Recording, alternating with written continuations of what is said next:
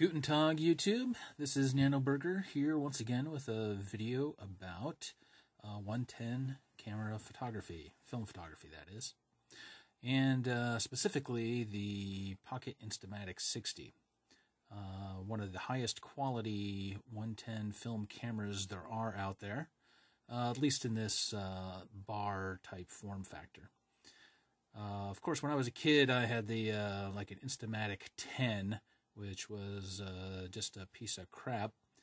Uh, but now that I'm older and uh, have more disposable funds, I can finally have my Pocket Instamatic 60. However, problem with that is the Pocket Instamatic 60 takes a very specific power source uh, called the K battery. And if you see any of my other YouTube videos, you'll, you'll know what a K battery looks like. Uh, looks something like this very strange looking battery. Uh, actually has three cells in it. Uh, comes in either um, uh, wine cells, which are adds up to 4 volts, or these alkaline cells, which adds up to 4.5 volts.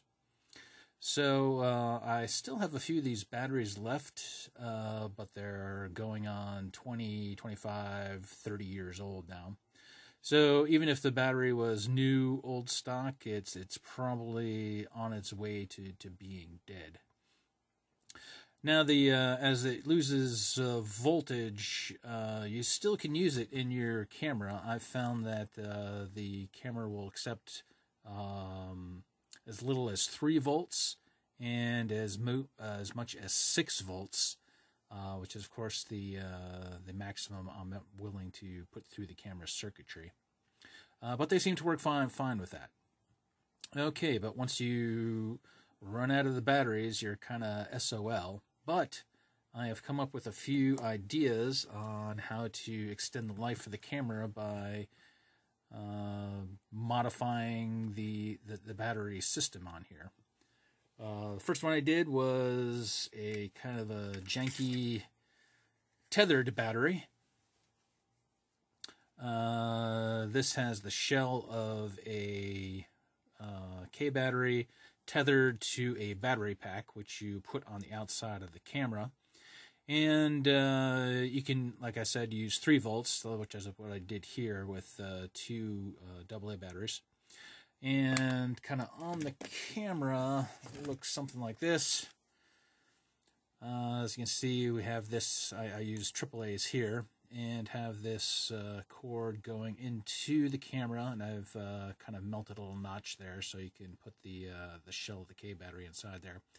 And this of course uh, works fine but it is a little little janky and cranky here so uh, I moved on to my next thing which would be to basically reload the shell of the battery with new batteries. Now, this is what the batteries, the, the alkaline batteries, uh, look like uh, when they come out of the shell. And as you can see, they're spot welded together with these tabs, and they're kept uh, from shorting out with these spacers, and they fit inside the uh, the shell of the battery. Um, do I have a shell of battery around here? Yeah. So this is the shell of the battery. So these fit inside here, and the the very last one kind of connects to a plate that, that covers the uh, uh, positive electrode. And you can actually reload these things if you really want to go through the work. Uh, but it is a pain in the butt because you have to have batteries that uh, have the same or similar dimension you have to put them together in series and you have to put spacers on them so they don't short out. And just a big pain in the ass. Uh, i've done it before. It's just uh, not worth my time these days.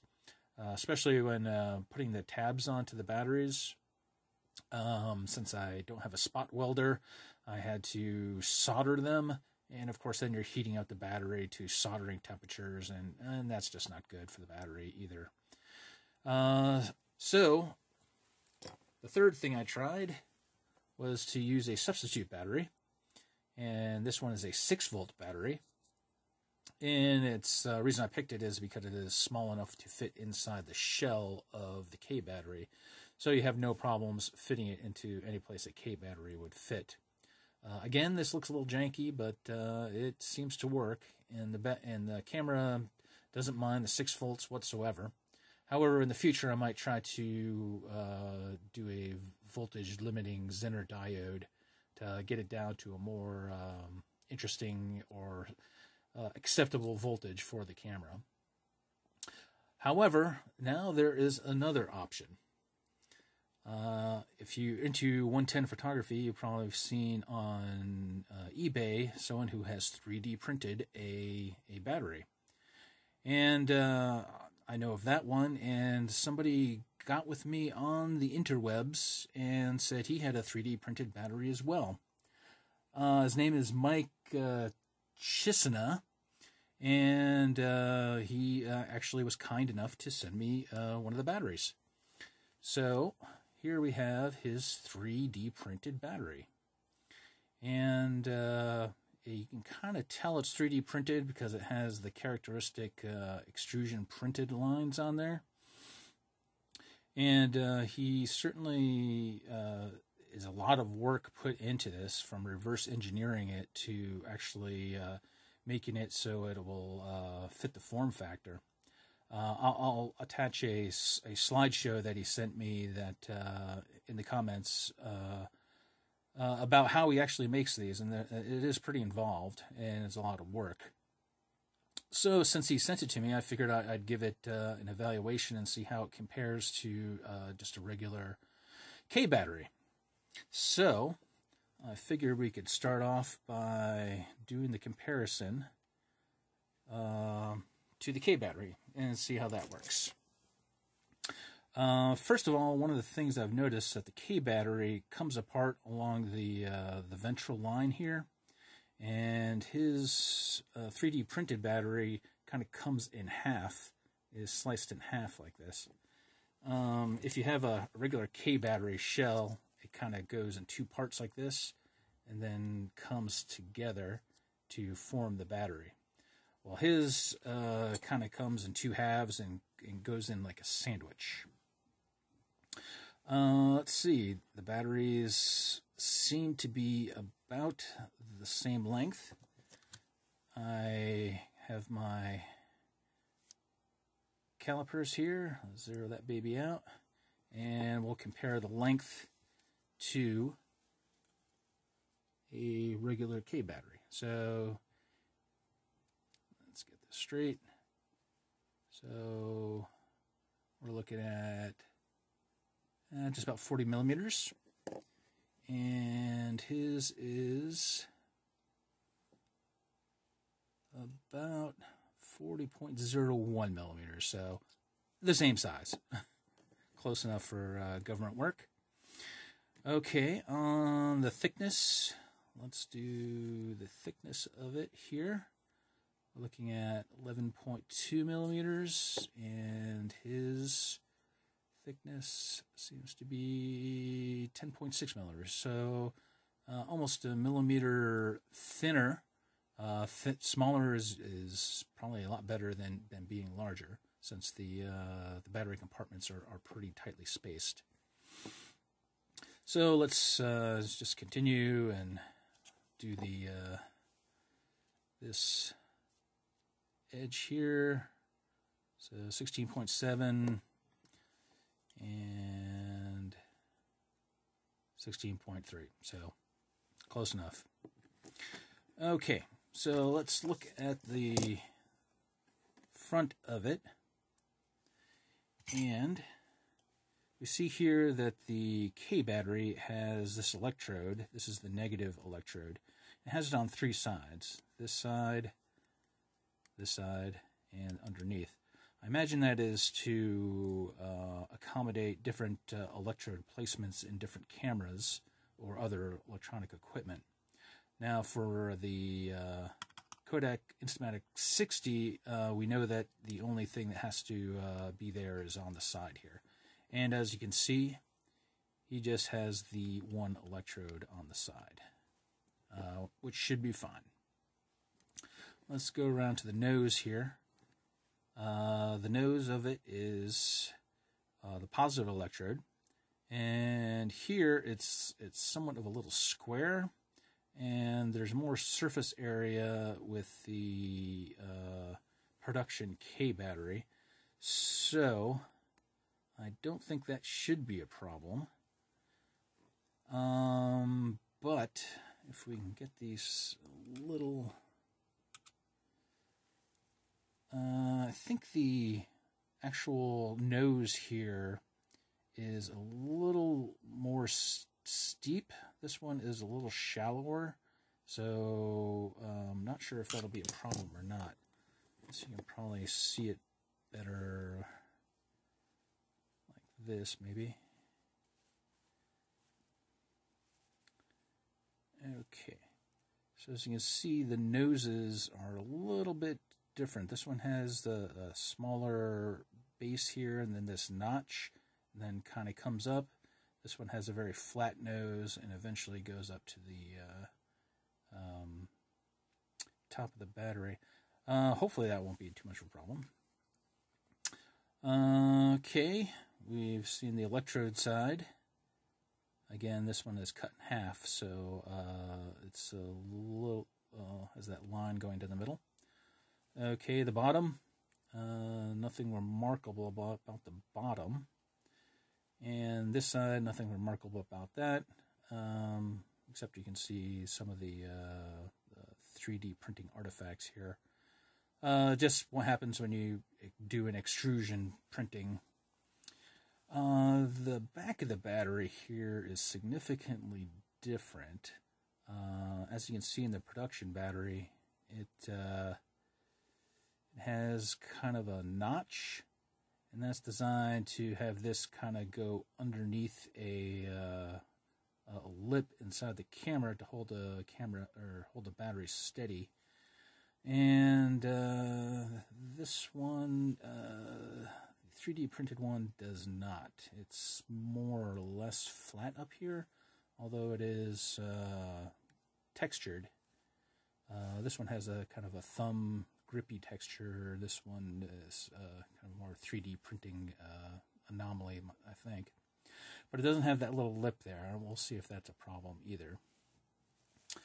Okay, well let's uh, let's do a little bit of voltage check here. Now the uh, camera, there we go. The uh, the camera will, will take a whole lot of voltage variations pretty well. Like this is this is a standard uh, battery here. Um, negative electrode is there, positive electrode, and what do we got? 397, 96, 396 volts. Not so bad uh, for a 20, 25 year old battery. So let's uh, see what the 3D printed one is. Electrode. Oh, yeah, that's what I'm talking about. 4.59, 4.6. That is a fully charged battery. So, uh, hits it right on the voltage. Uh, uh, he uses, I think, LR44 batteries, a fairly common watch battery, uh, three of them in here. And uh, spot welds them just like the professional batteries do. And uh, we'll see how it works. Uh, what we'll do is we'll take it to the camera. And, okay, well, let's try the production battery first so you can see how it goes in goes in with the uh, uh, positive electrode facing towards the, the lens here. So put it in, and you can see that lip there kind of goes underneath and holds and holds the battery in place for the most part. and uh, you know we can check it, see. Let's. Okay, you can see the battery uh, under uh, not enough light that's a good way to check the battery. Um, if we do all, do also have the battery check light, but sometimes these things can burn out and not give you any uh, any uh, any light, like in this case. Either that, or just having the the lower voltage on this uh, production battery is just not able to um, uh, light up that one specific uh, light. Okay, get that out of there. Okay, let's check this one out. Okay, so first time putting it in, we'll do the same thing here. And oh, that is tight. Oh, that is not going in there. Hmm. Um, I think the I think that problem maybe with the nose of the battery. It uh, the battery compartment kind of slims down towards the front, and this does not seem to want to get in there. Ah, I don't want to break my camera or not be able to get that out. Um, hmm. Well, let's check the voltage to see if it actually is in contact with the uh, with the electrodes on the inside here. Let's do this. Come on. Oh, it, it gets it in, so that means full power. It is touching the electrodes. Let's uh, let's take a look, see if it. Uh, okay. So it should be fine.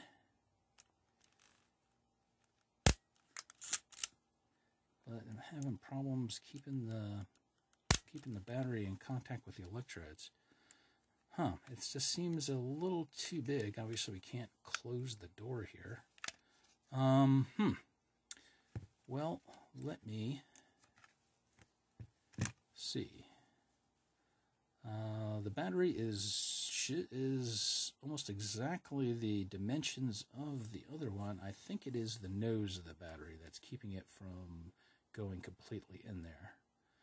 As you can see, uh, this is much smaller area right here and this seems a lot bigger so that might be a problem uh, it is contacting the electrodes so if we could maybe shave off a couple of millimeters at the back here um, I don't know how deep that goes but uh, um, he did give me two batteries to play with, so let me uh, let me sign off right now, shave that down a little bit, and see if it works in the camera.